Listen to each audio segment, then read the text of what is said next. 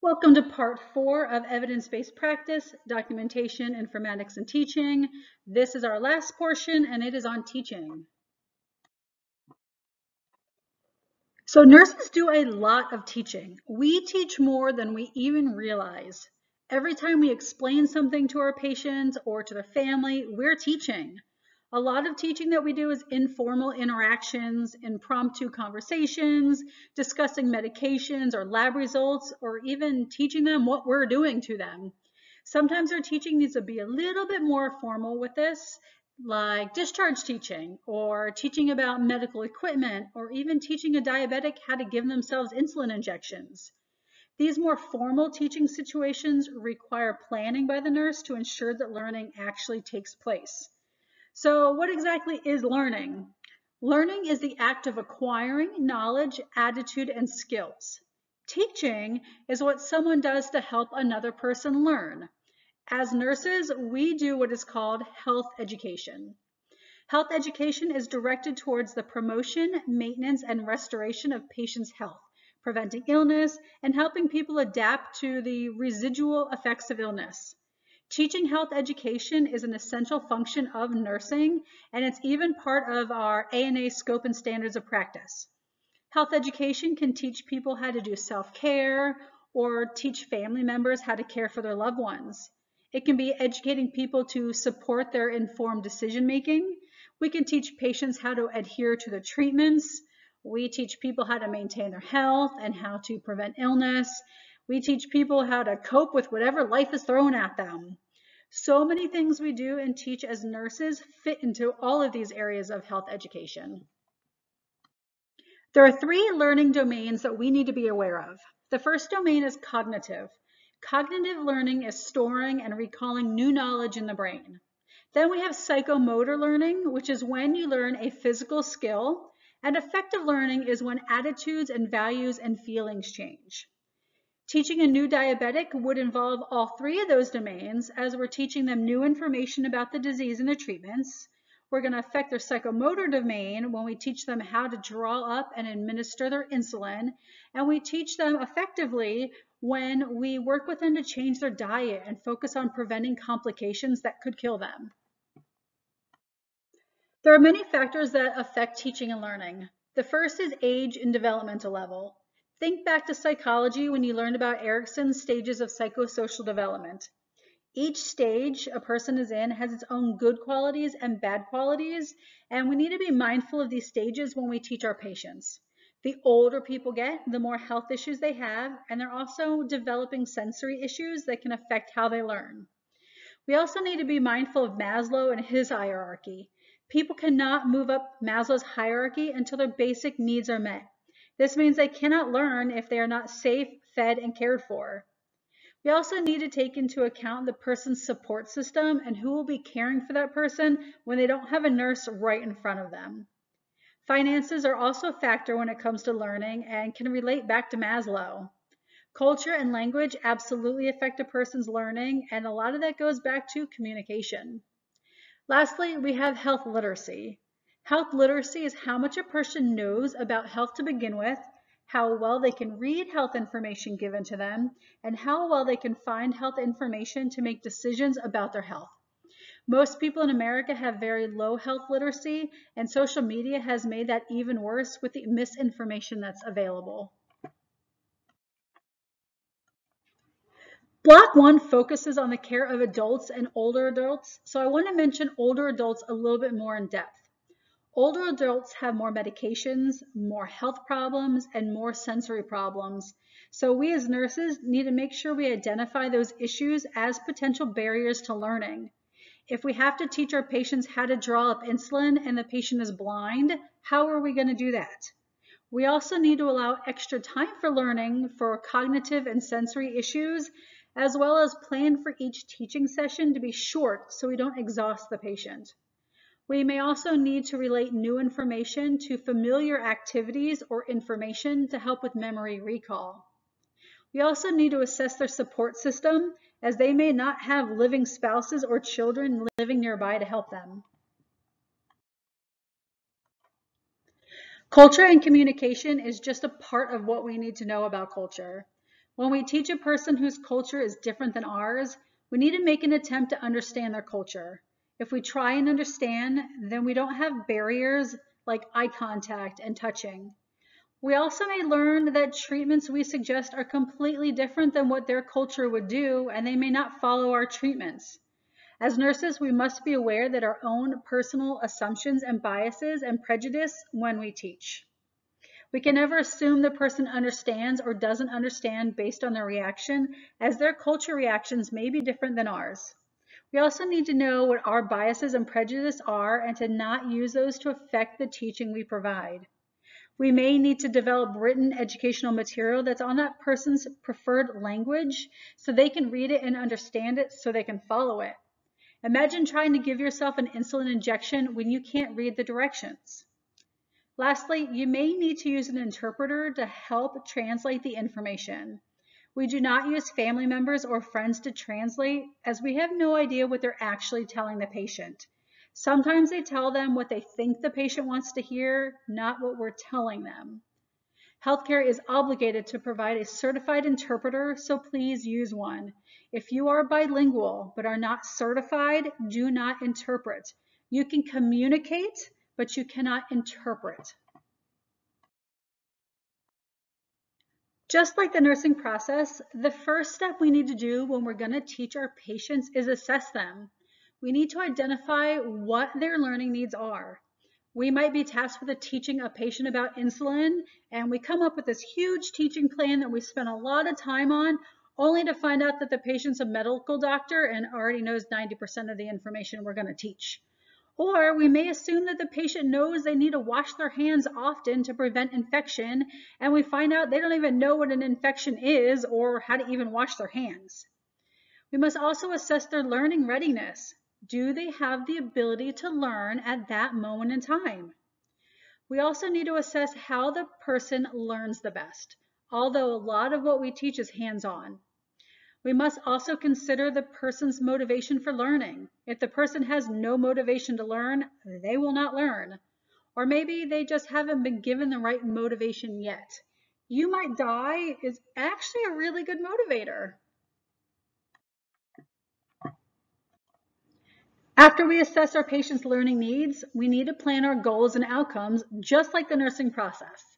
This is when we develop our teaching plan, what we're going to teach, and how we're going to teach it. We need to take our patient's goals and expectations and how they prefer to learn into consideration. That being said, that does not mean that we don't teach insulin injections because the patient is scared of needles. We still have education that we have to provide, we just want the patient's preferences involved.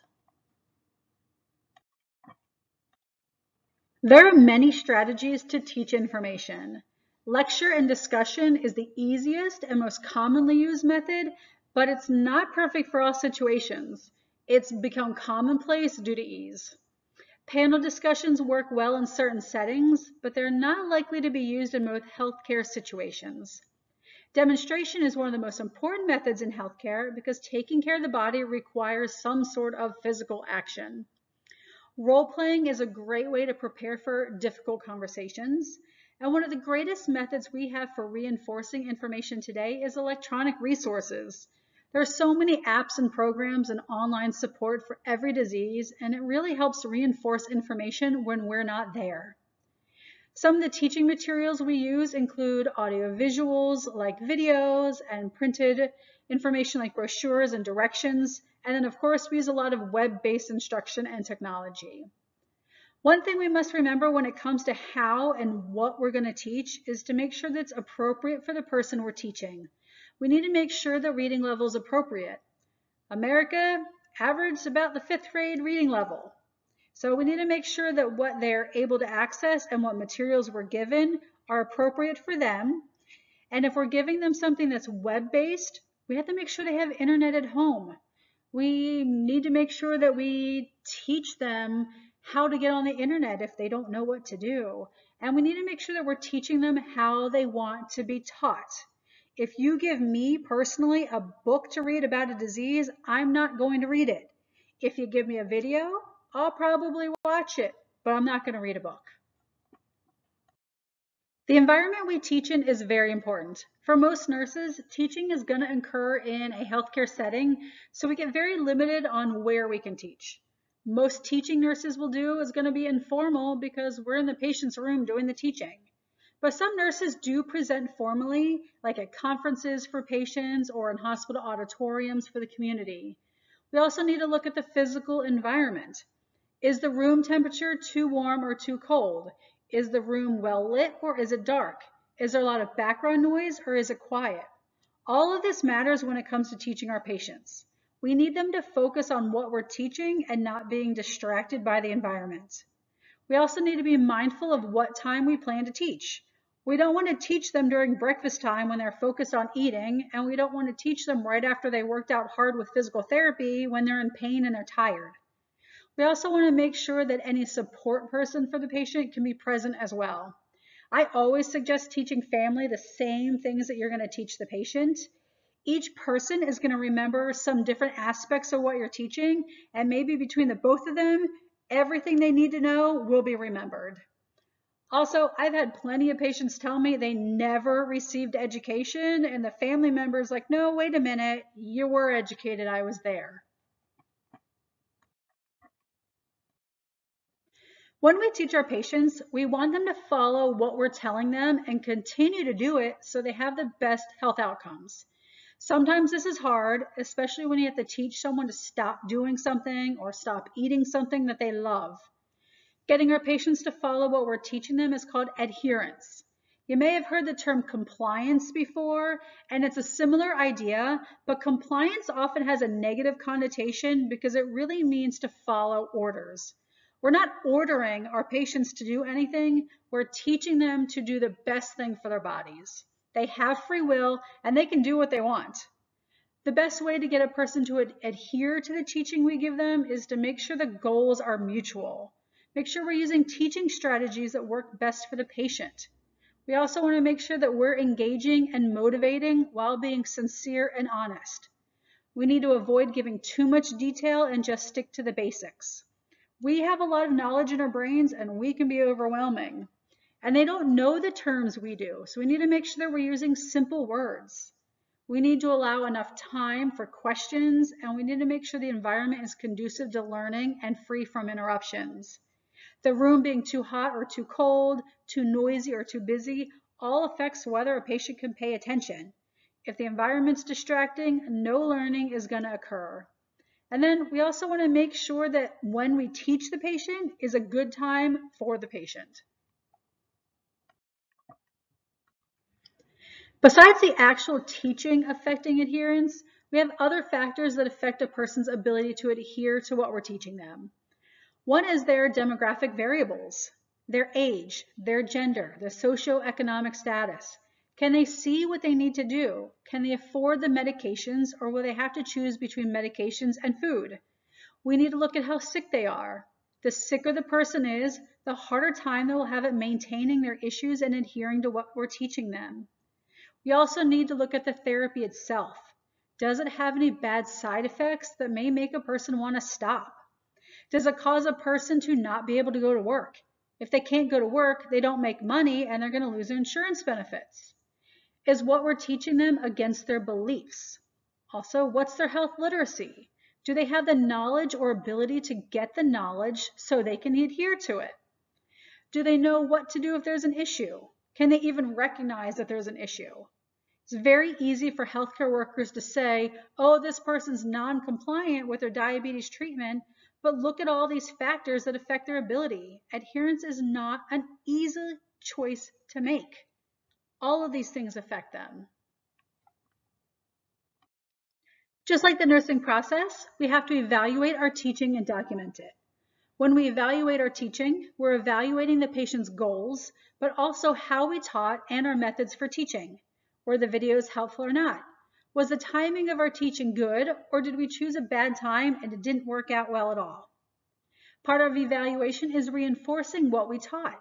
Patient teaching is not a one-time thing, and we reinforce that over and over and over again. Sometimes we need to revise our teaching plan and try something else. Maybe hands-on demonstration did not work out well for our patient who was scared of needles, so we might need to revise our plan and teach the family how to give the injections. Just like the nursing process, we're constantly evaluating and revising our plan until the goals are met. And with documentation, just like with the EMR, if we don't chart our education, it wasn't done. So we need to document the summary of the learning needs. Why did we need to educate them? We need to document the teaching plan and how we implemented the plan. We also need to document the evaluation of the results we obtained. How did the patient respond to our teaching? Everything related to the teaching plan has to be documented. And this is the end of part four.